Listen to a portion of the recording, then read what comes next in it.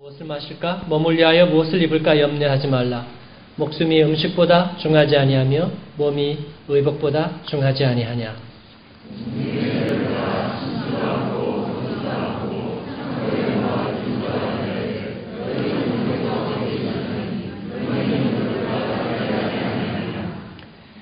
너희 중에 누가 염려함으로 그 키를 한 자나 더 할 수 있느냐? 또 너희가 어찌 의복을 위하여 염려하느냐? 그의 백화파가 어떻게 자라는가 생각하여 보라. 수고도 아니하고 길쌈도 아니하느니라. 그러나 내가 너희에게 말하노니 솔로몬의 모든 영광으로도 입은 것이 꽃 하나만 갖지 못하였느니라. 오늘 있다가 내일 아궁이에 던지우는 들불도 하나님이 이렇게 입히시거든 하물며 너희일까 보냐 믿음이 적은 자들아.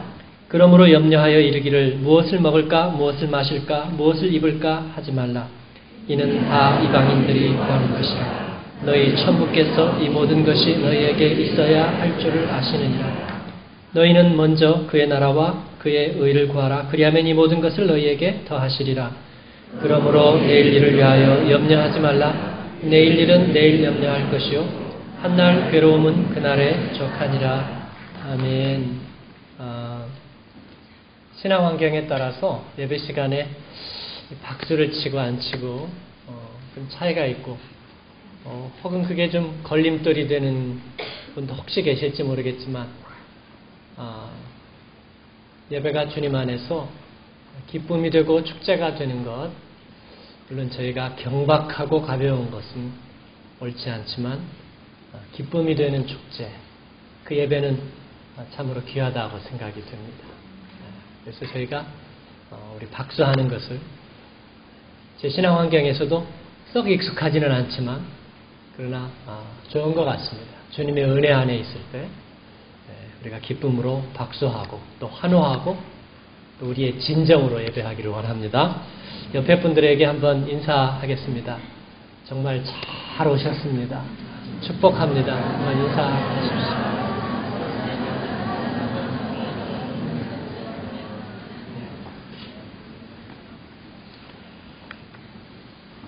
예수님의 어록을 따라가는 위대한 말씀 21번째 오늘은 마태복음 6장의 정말 유명한 말씀 그 말씀을 가지고 오늘 공중의 새처럼 들의 꽃처럼 주제로 여러분과 함께 은혜를 나누려고 합니다. 성경에서 하나님의 신실하심을 나타내는 그런 구절들이 참 많이 있잖아요. 직접적으로 내가 어려울 때, 그리고 내 마음에 근심될 때, 우리에게 영적인 방향을 주고 도움을 주는 그런 말씀들이 있습니다. 우리가 좋아하는 말씀들이 다 있는데, 여러분은 그 중에 어떤 말씀을 제일 좋아하십니까? 어, 오늘 이 말씀은 아닌 것 같아요. 아마도 빌립보서 4장 6절 7절 말씀도 그 중에 하나가 아닐까 생각합니다. 대부분의 성도들이 많이 외우고 계신데요. 한번 외워 볼까요? 다 같이 아무것도 염려하지 말고 모든 모든 일에 기도와 간구로 너희 구할 것을 감사함으로 하나님께 아뢰라. 그리하면 모든 지각에 뛰어난 하나님의 평강이 그리스도 예수 안에서 너희 마음과 생각을 지키시리라. 아멘. 굉장히 많이 외우시죠? 네. 우리 마음속에 아무것도 염려하지 말고 기도와 간구로 너희 구할 것을 오직 감사함으로 하나님께 하리라. 그리하면 모든 지각에 열려있는 하나님의 그 평강이 그리스도 예수 안에서 너희 마음과 생각을 지키시리라. 또 응답해 주시리라. 어.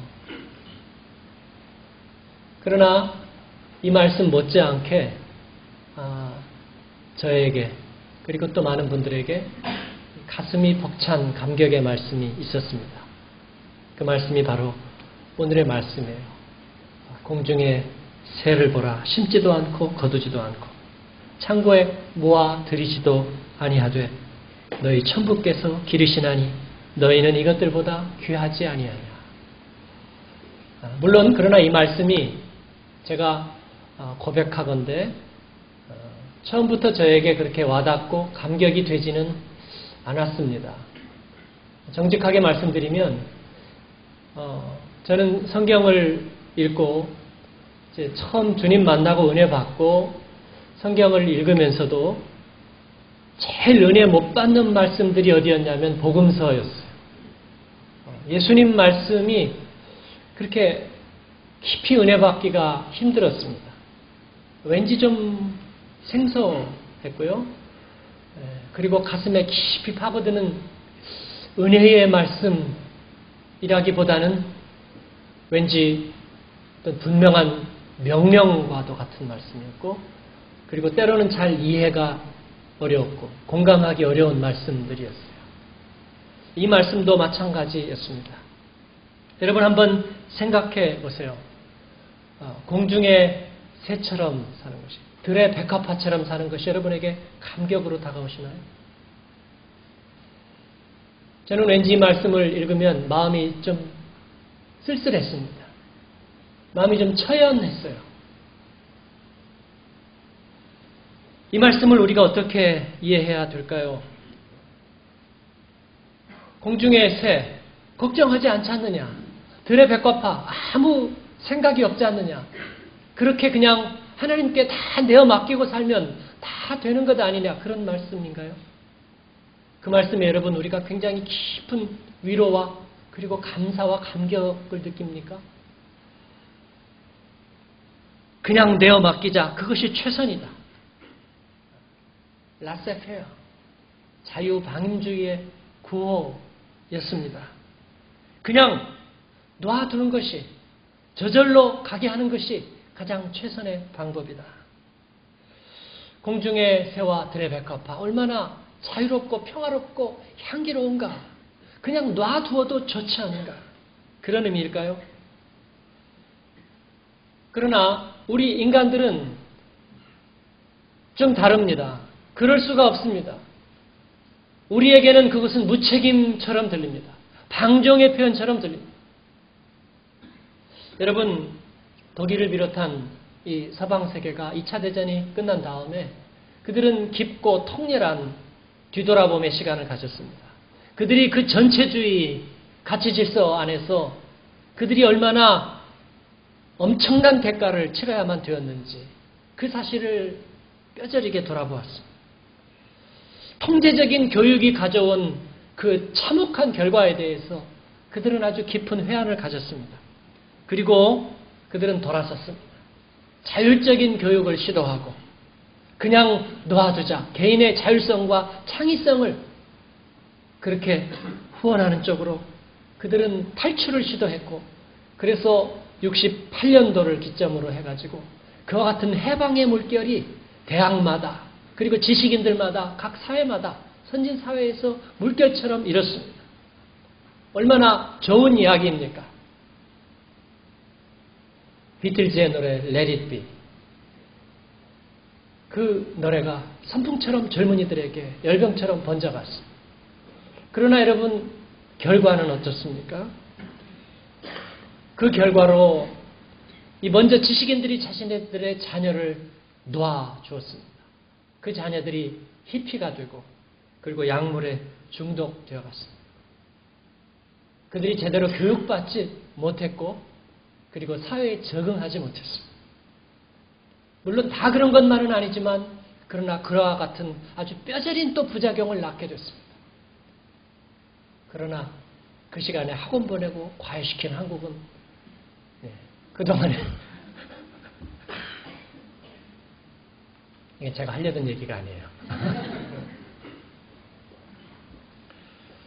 여러분 오늘 이 말씀은 과연 그런 뜻일까요?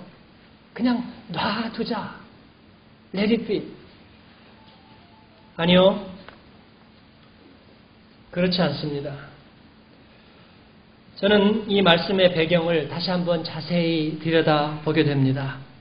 여러분, 공중의 새를 한번 생각해 보십시다. 이 공중의 새들이 어떤 새든지 적절하게, 공평하게 먹을 것을 항상 공급받는다고 생각하시나요?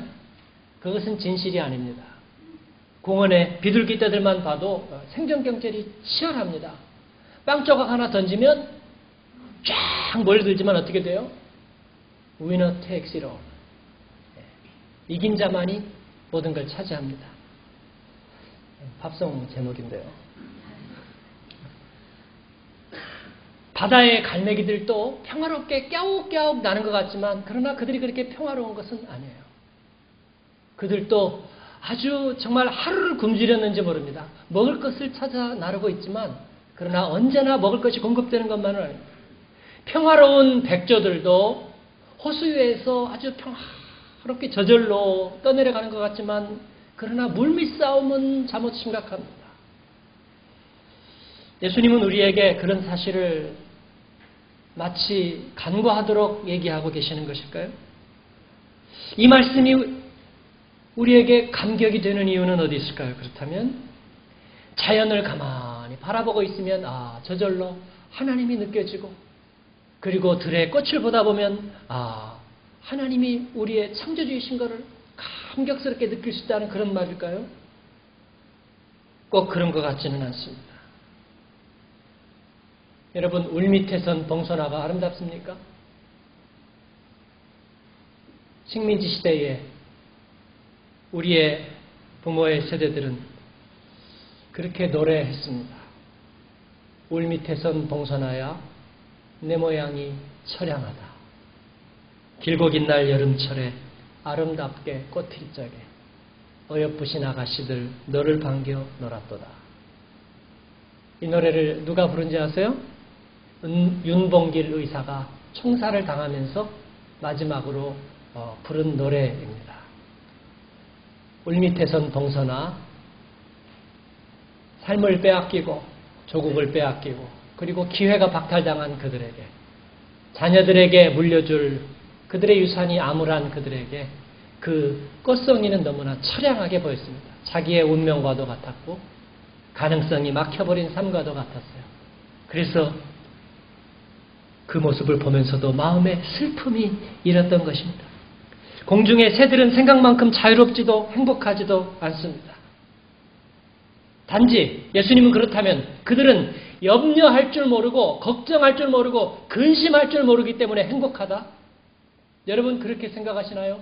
우리가 하나님을 믿고 주님을 찾아가는 것은 오케이 걱정 근심 해봐야 소용없으니까 하나님 걱정 근심의 감각을 우리에게 마비시켜 주시옵소서. 그것이 우리에게 행복이 될까요? 그렇지 않습니다. 내일 사자에게 잡아먹힐지라도 오늘 기쁘게 불 뜯어 먹는 사슴의 낙천을 배우자. 그건 아닌 것 같습니다. 그건 우리가 다시 로버트처럼 영혼 없는 짐승처럼 다시 돌아간다는 것과 같습니다. 오늘 저는 여러분에게 이 말씀의 은혜를 나누기 전에 그렇게 말씀드리고 싶어요. 저는 여러분의 걱정과 염려와 근심을 옹호합니다. 어느 분이 어, I'm so happy. 나는 걱정이 없네. 근심이 없네. 나는 아무것도 두려워하지 않네. 하나님을 믿고 하나님이 다 공급해 주시니까 어, 나는 근심의 근자도 몰라요. 그렇게 얘기하는 사람이 있다면 여러분 어떻게 하시겠어요?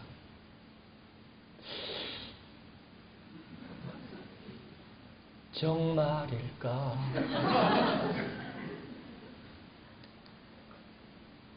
정말 그럴 수 있다면 그는 다른 이유가 있을 것입니다. 그러나 저는 여러분의 근심과 염려에 대해서 옹호합니다. 왜냐하면 우리가 근심할 수 있다는 건, 염려할 수 있다는 건, 걱정할 수 있다는 것은 우리에게 성취의 욕구가 있기 때문입니다.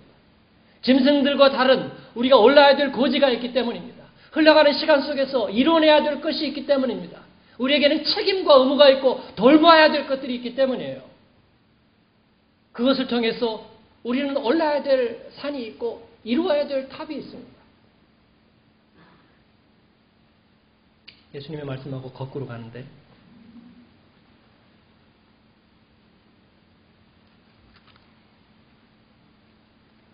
그러나 오늘 우리가 여기서 생각해야 될 것은 과연 우리가 그 염려와 근심과 걱정을 통해서 우리가 바라고 원했던 그 성취의 삶을 이뤄낼 수 있느냐 하는 것입니다. 문제는 그것입니다.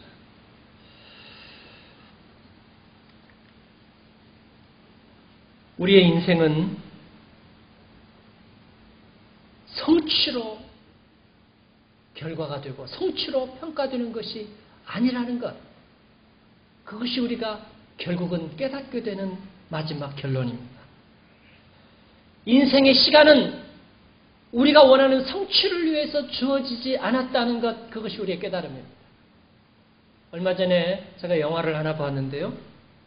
그 유명한 배우 로버트 레드포드가 아, 주연한 영화인데 어, 다소 그 우화적인 내용을 담고 있는 영화입니다. 한 아이가 태어났는데 그 아이에게는 시간이 거꾸로 주어졌습니다.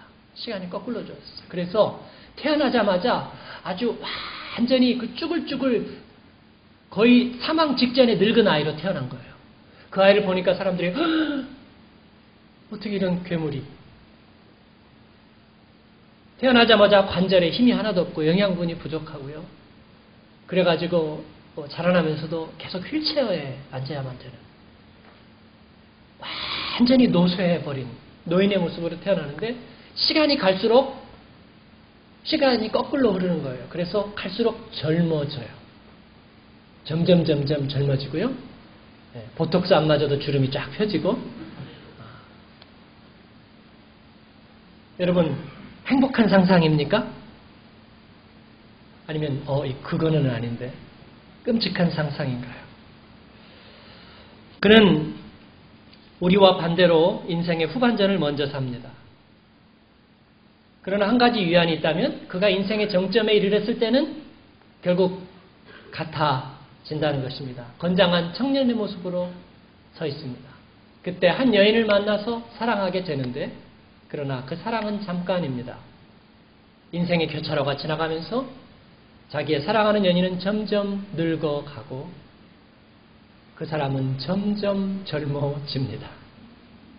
철이 없어지고 어린애가 되고 네, 그래서 결국 교차되고 그 아이는 어떻게 될까요? 어린애가 되어서 숨을 거둡니다. 그 영화를 이렇게 보면서 감정이입을 해보았어요. 다 소멸되고 뺏기고 늙고 쇠퇴해서 죽는 거나 점점 젊어지면서 죽는 거나 결국 다를 것은 없다는 생각을 하게 되었습니다. 그 영화는 많은 것을 생각하게 해 주었습니다. 인생의 시간은 과연 우리로 하여금 성숙과 어떤 성취를 위해서 주어진 것일까? 그렇지 않다는 것입니다. 인생의 시간 동안 우리는 많은 것을 성취하려고 생각하고 그것 때문에 걱정하고 근심하고 염려합니다. 그것이 우리가 동물과 걱정 없는 동물들과 영혼 없는 동물들과 구별되는 차이점이기도 합니다. 그래서 우리는 경험을 쌓기를 원하고 지식을 갖기를 원하고 우리가 가동할 수 있는 재능과 가질 수 있는 힘을 갖기를 원합니다. 그런데 어느 순간인가 우리는 그것을 가질 수 있는 상한점, 정점에 도달합니다. 아마 이 중에 상당수는 이미 우리가 인생에서 경험할 수 있는 것들을 거의 다 경험했을 거라고 생각해요. 그런데 그러면 그때부터 그 경험은 빛을 발해야 됩니다. 주술의 옷을 입고 놀라운 빛을 발휘하면서 뭔가 열매와 결정체와 성취의 탑을 이루어내야 됩니다. 그런데 많은 경우에 그렇지 못합니다. 왜 그럴까요? 그 경험들이 이미 우리 안에 쌓였는데, 그러나 그 경험을 현실로 만들어낼 열정은 우리 안에서 이미 사라져 버렸습니다. 지식과 재능은 우리 안에 쌓였는데, 그 영화에 나오는 그 사람이 인생의 젊음, 잠깐의 교차로에서 바로 돌아서면서부터 한 사람은 늙어가고 한 사람은 어려져 가고 서로 다른 길로 사라져 가듯이 우리가 가진 지식도 재능도 은사도 그렇게 오래 가지 않기 때문입니다. 얼마 전에 어, Big 3 누구예요? Big 3 테너 호세 카레라스 루치아노 파바로티 플라시도 도밍고 그 중에 루치아노 파바로티가 죽었죠. 어, 그 두 사람이 루치아노 파바로티를 추모하면서 어, 음악회를 열었어요. Big 3 중에서 한 사람이 사라졌는데 두 사람이 노래를 하는데 아, 들어보니까 아, 여전히 잘해요. 자, 저 사람들은 목소리가 녹슬지도 않는구나. 그래서 제가 한번 살짝 따라서 해봤거든요. 어, 그랬더니 따라 해지는 거예요. 어, 이상한데? 옛날에는 되게 높아가지고 못 따라서 했는데 보니까 음을 다 낮춰가지고 색깔은 테는데 실제로는 바리톤인 거예요. 소리가 올라가지 않죠. 그분들보다는 우리 교회 집사님들이 훨씬 잘해요. 하이씨 팍팍 지르고요. 예. 그 세기적인 대가들의 삶도 그들이 어느 순간 이루려고 했을 때 그들은 이미 이루지 못한 사람들이. 내 인생의 경험 속에서 우리가 가졌던 삶의 가장 귀중한 자산이라고 생각되는 것들, 우리들의 삶 속에 담기기 시작한 그때부터 이미 그 안에서 모든 것들은 녹슬어져 가고 소멸되어 가고 버려야 되는 것들이죠. 제 고향 부모님 집에는 제가 학생 때부터 모았던 그 서가들이 책꽂이가 몇 개가 되도록 쌓여 있습니다. 책꽂이가 부족해서 다 이중으로 쌓아놓고 위에다 놓고 그래도 안 되는 것은 다른 박스에다 놔서 여기다 놨어. 밥 안 먹고 자취하면서 밥 굶어가면서 모았던 책들인데 언젠가 한국에 갔더니 부모님께서 이사를 하시면서 그 책을 아주 여러 박스를 갖다 버리셨대요. 뭐 고물상에 주었거나 뭐 헌책방에 갖다 주었거나 그러신 것 같아요. 어, 그걸 제가 어떻게 모은 건데 그걸 버리셨어요. 그랬더니 그거를 언제 다 읽을래? 그 얘기를 들으니까 제가 씁쓸한 웃음이 지어졌습니다. 그래, 그거 뭐 할 건데? 그거 뭐 할 건데? 이미 그 책들, 그 생각들, 그것들을 동원할 수 있는 열정도, 기억력도, 그런 삶의 기회도 저에게는 이미 대부분 주어져 있지 않은 것입니다. 여러분, 그것이 인생입니다.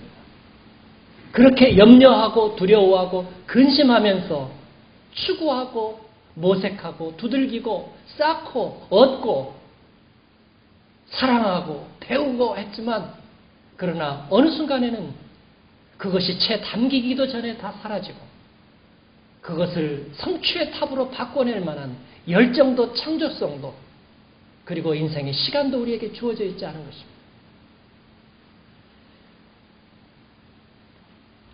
지금 집에도 마찬가지죠. 날을 고심하면서 읽었던 독일어 책들이 1, 200권 이상 있어요. 그러나 그것으로 무엇을 할 수 있을까? 우리 지난번 여름에 오셨던 한기채 목사님 그 목회 집무실에 가보니까 서가가 한, 한, 한 20개 이상 책으로 가득 채워져 있는데 그 중에는 어, 미국에서 공부하면서 어, 또 신학대학 교수로 있으면서 어, 읽고 모았던 책들이 원서 책들이 많이 있어요. 저에게 그 책들을 이렇게 보여주면서 저 책을 볼 때마다 마음이 안타깝대요. 저걸 내가 어떻게 읽었는데 이제는 써먹을 수가 없구나 생각하니까 안타깝대요. 그래서 제가 이제 아셨어.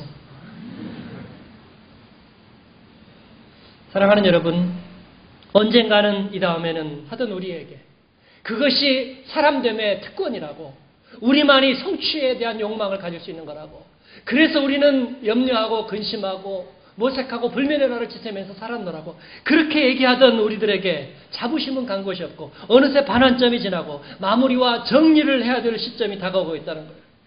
우리는 아직도 여전히 우리가 무언가를 놀랍게 이룰 수 있다. 그렇게 생각하고 있는 것일까요? 이 시간의 차고 이 아나크로니스모스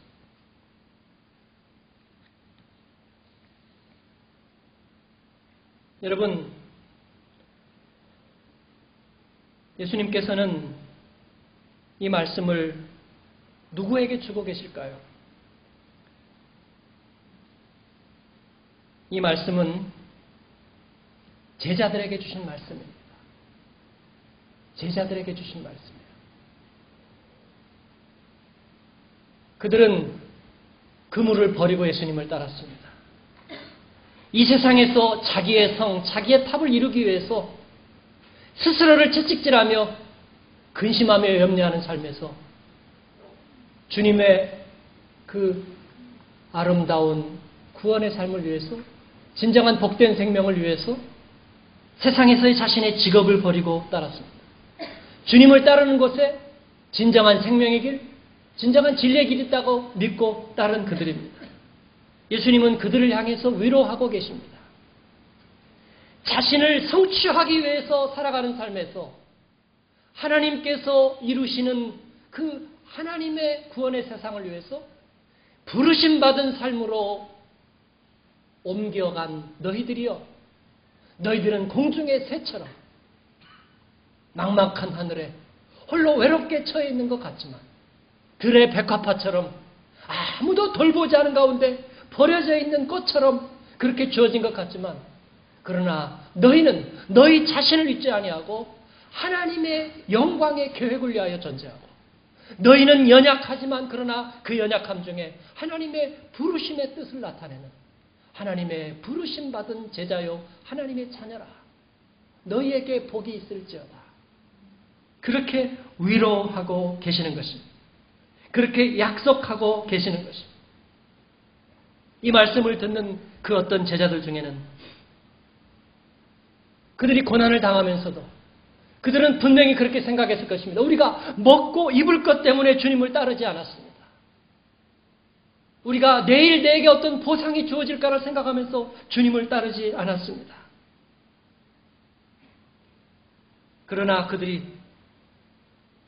마음속에 고통이 있고 육체가 힘들고 병들고 어려울 때에 주님을 바라볼 때 주님의 그 말씀을 기억하였을 것입니다.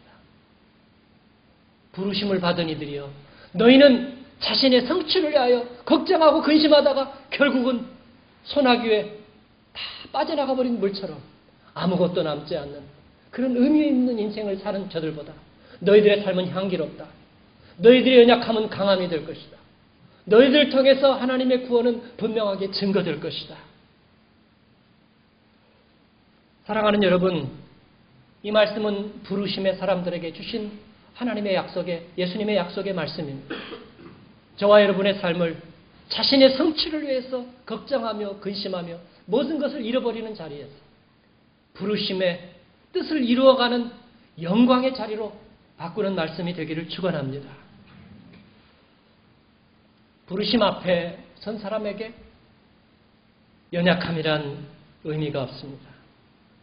사랑하는 여러분, 우리는 그렇게 연약하지 않습니다. 어떤 사람은 1년 365일 동안에 적어도 200일은 몸이 안 좋다는 얘기하면서 삽니다.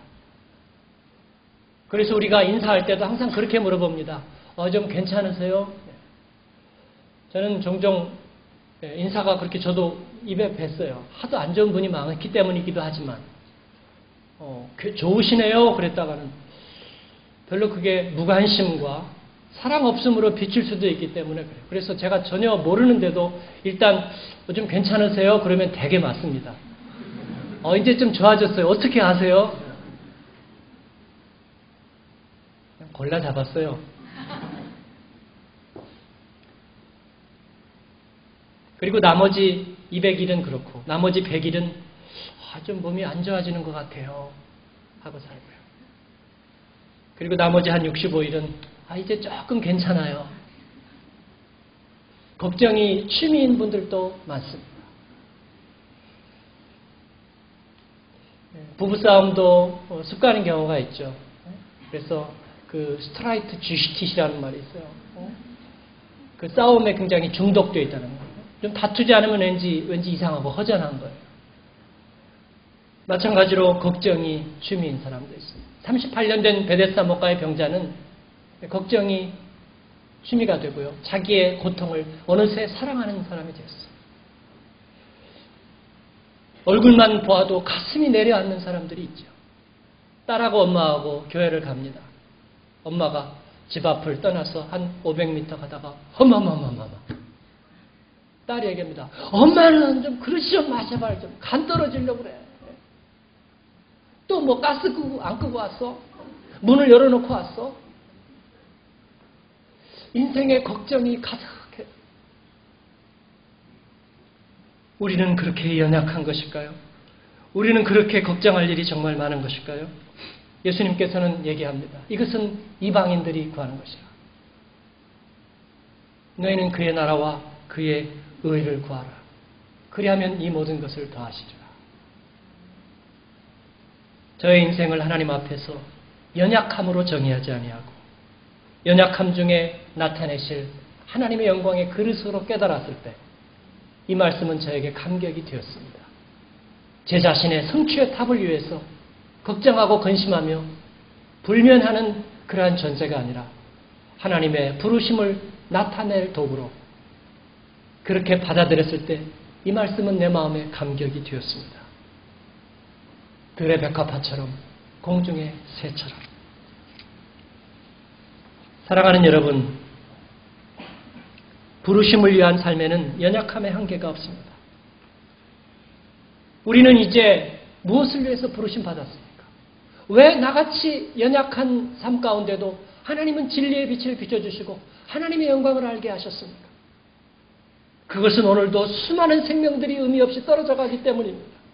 공중에 위태한 새들과 메말라가는 백화파들이 있기 때문입니다. 우리는 그들을 위하여 모델로 부르심을 받았습니다. 하나님이 우리의 생명의 주인이시라는 그 사실을 선포할 모델로 부르심 받았습니다. 연약함 중에 하나님의 존귀한 능력이 담길 수 있다는 것을 보여주는 모델로 부르심을 받았습니다. 구원의 사랑을 드러내고 전해주는 모델로 부르심을 받았습니다. 오늘도 가난과 불행의 악순환 속에서 사는 이들이 있습니다. 그러면서도 도달할 수 없는 헛된 욕망을 꿈꾸면서 걱정만 하다가 사라져가는 하나님의 형상을 회복하지 못하는 영혼들이 있습니다. 성취의 한계에 부딪혀서 스스로 만족하지 못하고 목을 메고 인생을 포기하는 그런 스스로 저주받은 영혼들이 있습니다. 그들을 위하여 여러분 우리는 부름받았습니다.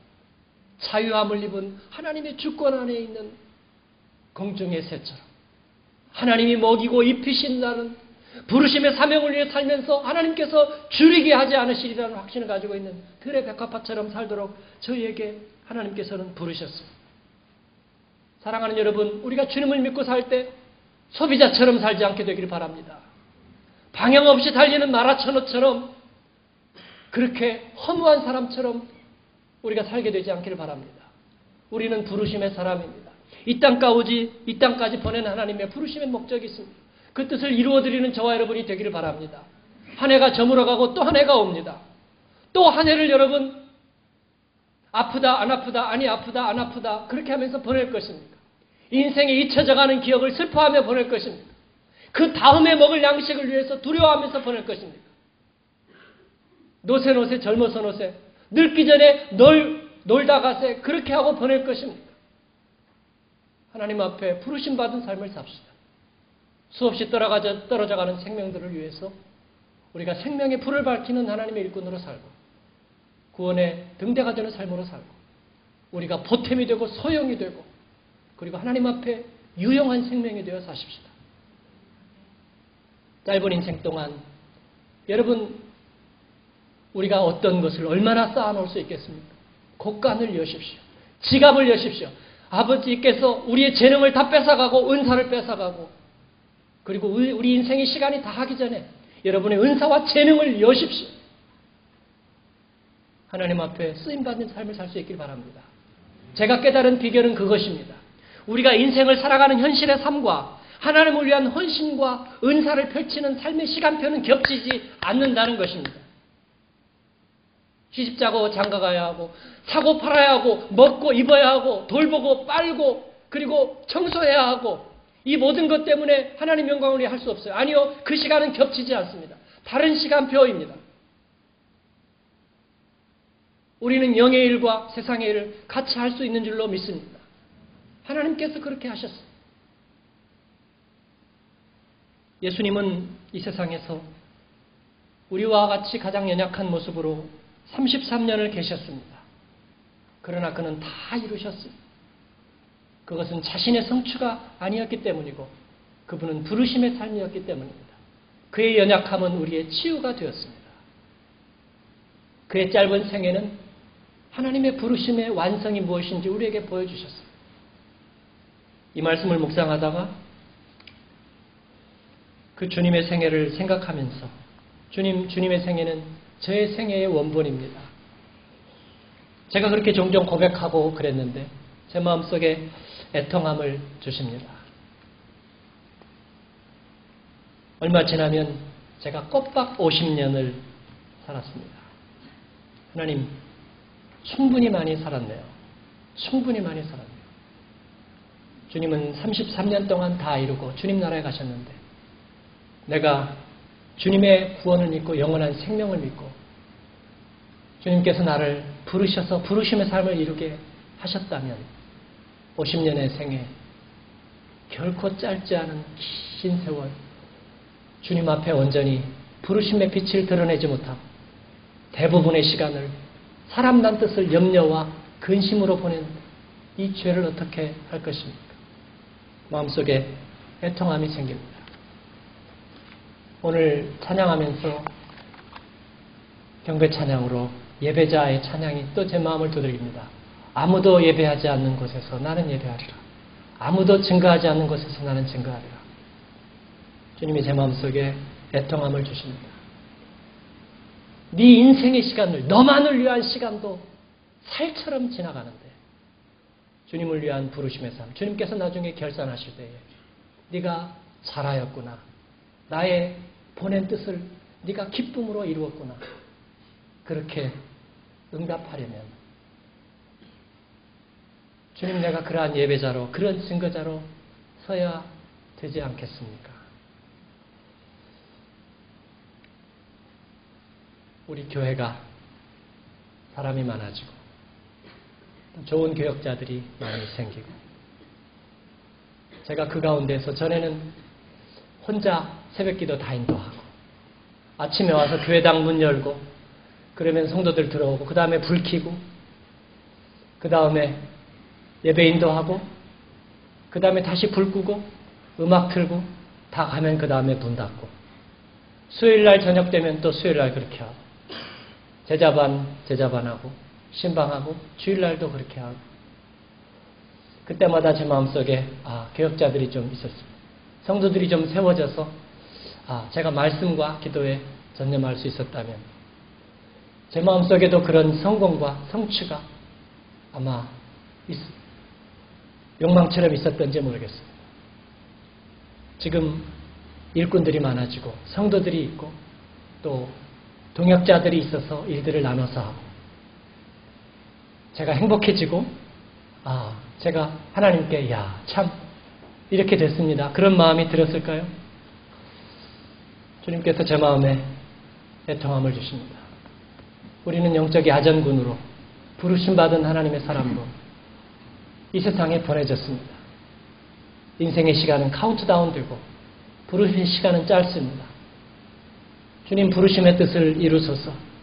제가 다시 염려하며 근심하며 걱정하며 무엇을 입을까 먹을까 마실까 염려하는 사람처럼 자신의 성취의 탑을 위해서 살아가는 존재가 되지 않게 하소서. 부르심의 뜻을 이루게 하소서. 여러분, 저와 여러분은 그런 모델로 부르심을 받았습니다. 그렇게 살기를 원합니다.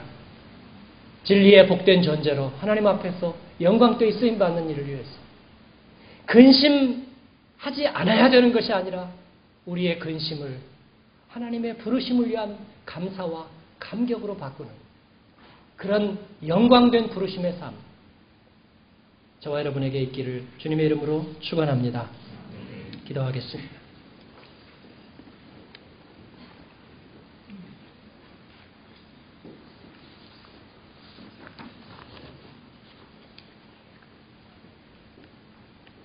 자신을 위한 성취에는 한계가 있고 허무가 있고 좌절이 있습니다.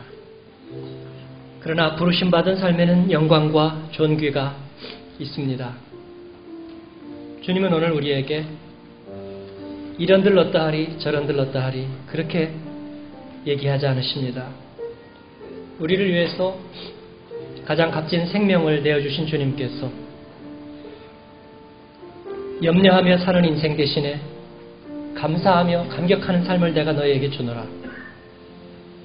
공중의 새처럼 드레베카파처럼 버림받은 자처럼 여기지 않고 하나님의 주권 안에 예비하심 속에서 자유롭고 향기로운 영광된 인생을 살도록 내가 너희를 불렀노라. 우리 그렇게 주님의 나라에까지 같이 가자. 주님 말씀하십니다. 주님 내가 그러겠습니다. 연약함 중에 강하고 하나님 주님의 부르심을 이루기 위해서 달려가는 삶을 살겠습니다. 우리 인생의 해그림자가 다 하기 전에 주님의 부르심의 뜻을 이루어 주시옵소서. 우리 같이 응답하면서 기도하기를 원합니다. 기도하겠습니다. 하나님 아버지 감사합니다. 주님 저희를 부르셨습니다. 연약함 중에 부르셨습니다. 하나님 그러나 우리 주님께서 다 이루신 것처럼 우리의 짧고 유한한 삶 가운데 주님은 다 이루시겠다고 약속하셨습니다. 주님 이제 염려하며 걱정하며 살아가지 않겠습니다. 감사하며 주님을 찬양하며 높이며 예배하며 주님의 부르심의 뜻을 이루어가며 하나님 이 땅에 떨어져가는 수많은 생명들을 위해서 하나님 불행의 악순환 속에 사는 이들을 위해서 하나님 스스로의 성취에 절망하며 하나님 몸과 마음과 영혼을 버리는 이들을 위해서 우리가 구원의 모델로 하나님 저희가 복되게 살기를 원합니다. 저희의 은사를 열어주시옵소서. 하나님 저희들의 건강을 열어주시옵소서. 저희들의 가정을 열게 하여 주시고 저희들의 직업과 우리의 재능과 하나님 직장을 열게 하여 주옵소서. 하나님 우리가 작은 구조선 되게 하시고 하나님 우리가 진리의 길 되게 하여 주시옵소서. 그렇게 쓰임 받고 하나님 후회함 없이 주님 앞에 감사함으로 사는 멋진 하나님의 사람들, 부르심 받은 사람들 되게 하여 주시옵소서. 예수님 이름으로 감사하며 기도합니다.